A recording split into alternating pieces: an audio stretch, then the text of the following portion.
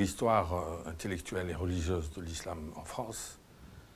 Il y a de très grandes figures euh, dont l'itinéraire mérite d'être euh, retracé à cause de l'intérêt et des enseignements que l'on peut tirer pour essayer de voir clair dans les problèmes d'aujourd'hui. Donc parmi ces grandes figures, il y a Mohamed Tazrout qui, est qui peut être considéré comme l'un des doyens après la première euh, génération euh, qu'on a, a rappelé la dernière fois, c'est-à-dire euh, Christian Cherfis et, et Ahmed Rida. Mohamed Tazrout était né en 1893 dans un petit village de Kabylie, dans une famille instruite et religieuse, ce qui lui a permis d'apprendre le Coran chez son propre père. Puis après, il est intégré au, cours normal de Bouzarea, de formation des instituteurs qui était réservé aux indigènes. L'école normale étant euh, réservée aux citoyens à part entière. Et donc, à sa sortie de, cette école, il s'est marié à une Française diplômée de l'école normale. Donc ça, a créé une disparité euh, à l'intérieur de, ce jeune ménage, puisqu'en tant que Française, elle percevait 33% de plus que son mari qui avait le même âge, la même ancienneté, le même diplôme. Et donc c'était une des discriminations les plus notoires euh, du système colonial qu'on appelait le tiers colonial. Et il a enseigné à Thnit al-Had, donc euh, à l'ouest d'Alger, dans le Loire-Nice, euh, jusqu'à la guerre de 1914 où il est mobilisé dans les tirailleurs algériens. Et au moment de cette mobilisation, il a cru euh, utile de se naturaliser pour échapper aux discriminations dans l'armée qu'il avait vécues dans le, système éducatif. Et donc, malgré les, les oppositions que ça, euh, que ça suscitait dans, le, dans la famille, parce que cette naturalisation supposait la rupture avec l'islam. Lui, il a accepté de, de, se naturaliser pour devenir citoyen à part entière. Euh, et puis, euh, il a fait la guerre. Il a été fait prisonnier, pris prisonnier en 1916 comme sergent d'une compagnie sanitaire. Et en 1917, il bénéficie d'un échange de prisonniers entre l'armée française et l'armée allemande. Il est libéré en Suisse, où euh, l'attaché militaire du consulat de France était chargé de lui reverser sa solde. Et il en a profité pour s'inscrire à l'université de Lausanne euh, pour euh, y faire des, des, études de langue et notamment d'allemand. Auparavant, il avait passé le bac latin langue par correspondance. Euh, parce que l'admission à l'école normale n'exigeait pas le, baccalauréat.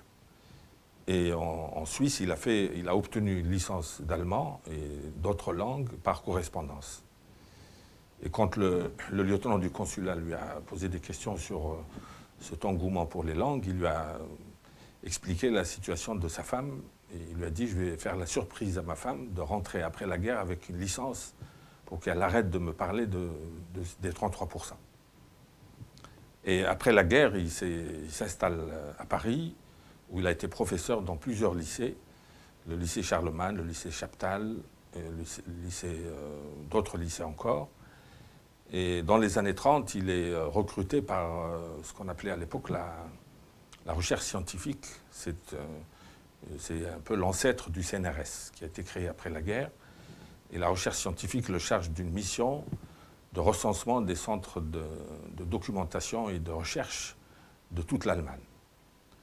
Et euh, il a fait ce travail avec, euh, il a satisfait ses supérieurs, et euh, ça lui a permis d'écrire un, premier livre intitulé Les éducateurs sociaux de l'Allemagne contemporaine, après avoir traduit des ouvrages célèbres comme Le déclin de l'Occident de Oswald Spengler, et euh, qui, est un livre euh, remarquable, mais le lecteur ne remarquait pas qu'il n'était pas français parce qu'il mettait M. Point, il ne mettait pas Mohand. Or, Tazroud, ça pouvait être un nom euh, de l'Aveyron.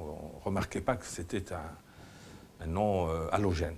Il a traduit aussi l'histoire des peuples islamiques de Brockelmann, un grand orientaliste allemand. Et à la, fin de la, de la guerre mondiale, la deuxième, qu'il a passé à Paris, où on, a appris qu'il était, euh, euh, il avait des relations avec la résistance, dont il distribuait les tracts à la sortie des lycées où il enseignait.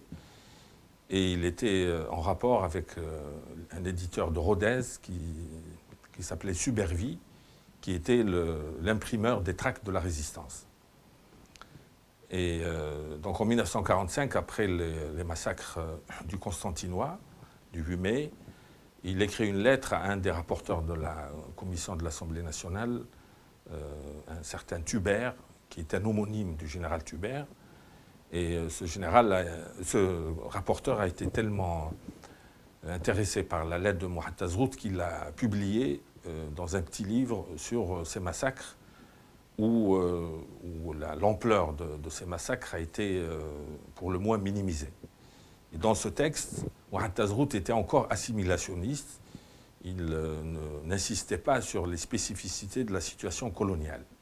Il considérait que les Algériens pouvaient bénéficier de la même promotion que lui pourvu qu'ils euh, travaillent suffisamment et pourvu que l'administration euh, française fasse un effort pour lutter contre la corruption, dont il reconnaissait l'existence dans l'administration, auprès des, fonctionnaires français eux-mêmes, pas seulement chez les caïds et il, euh, il croyait à la promotion par l'école. Il ne croyait qu'aux inégalités. Il ne croyait pas à la revendication identitaire, euh, ni à la spécificité de la situation coloniale qui est devenue un objet d'étude autonome par rapport au reste de la sociologie à partir des années 50, comme par exemple chez Balandier ou Malek Nabi. Et donc il continue à, produire. En 1953, il a publié une série chez Subervie, qu'il a intitulé Au Congrès des civilisés, euh, en plusieurs volumes, où il était inspiré par la typologie des civilisations dressée par euh, Oswald Spengler euh, à partir de 1914.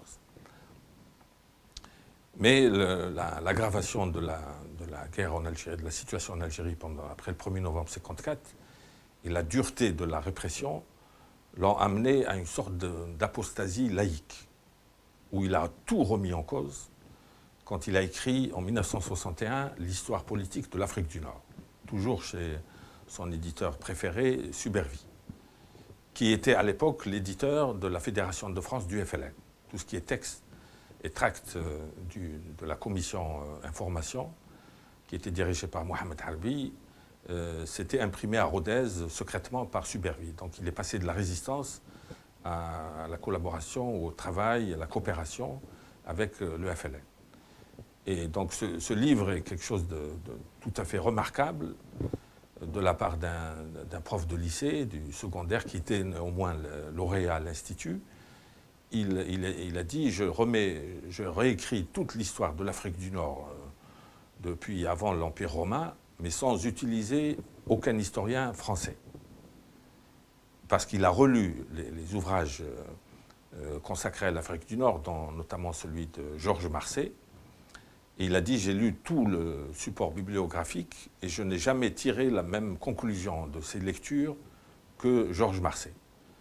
Donc il a découvert qu'il y avait un biais colonial dans l'histoire de l'Afrique du Nord écrite par les Français, qui était resté inspiré par euh, une sorte de triomphalisme colonial qui, a qui a été relancé au moment du centenaire euh, donc de la prise d'Alger en 1930.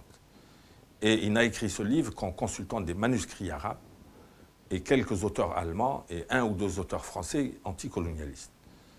Donc il a découvert ce que Edouard Saïd étudiera avec beaucoup de brio euh, par la suite, euh, la, collusion entre les historiens, les orientalistes et le système colonial.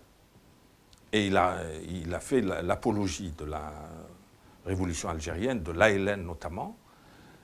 Et euh, c'est un acte de foi, une prise d'opposition anticolonialiste, et qui a été suivi d'un départ définitif de la France vers le Maroc, où il semble avoir été conseillé du palais.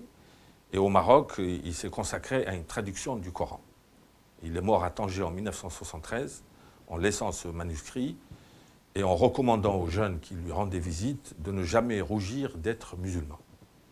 Donc voilà quelqu'un qui a euh, cru au modèle français d'intégration, au point d'entrer en conflit avec son entourage familial, quand il s'est naturalisé, et puis 45 ans après, il vit une sorte d'apostasie laïque où il rejette tout ce système d'assimilation et avec l'appareil intellectuel qui l'accompagnait, et il a, euh, été le précurseur des idées euh, que Edouard Saïd euh, publiera dans son livre Orientalisme en anglais, qui a ébranlé toute cette corporation prestigieuse et brillante, mais qui a dû s'incliner devant la stature intellectuelle d'Edouard Saïd et le brio de sa démonstration. Mais l'idée centrale, elle est exprimée chez Mohamed Tazrout, et il utilise euh, des, mots très très durs pour qualifier la, barbarie de la répression coloniale. Et il n'hésite pas à comparer avec ce que les Allemands ont fait euh, pendant la guerre euh, mondiale, la deuxième, en ouvrant les camps. Il, parlait des camps de la mort à propos des camps de regroupement en Algérie. Et donc il nous intéresse aussi en ce cinquantenaire de l'indépendance de l'Algérie, où la qualification des crimes coloniaux euh, suscite toujours euh, des, polémiques. Et donc le témoignage euh, d'un érudit aussi qualifié que de Mohamed Tazrout mérite d'être versé au dossier pour l'étude impartiale de la qualification des crimes coloniaux.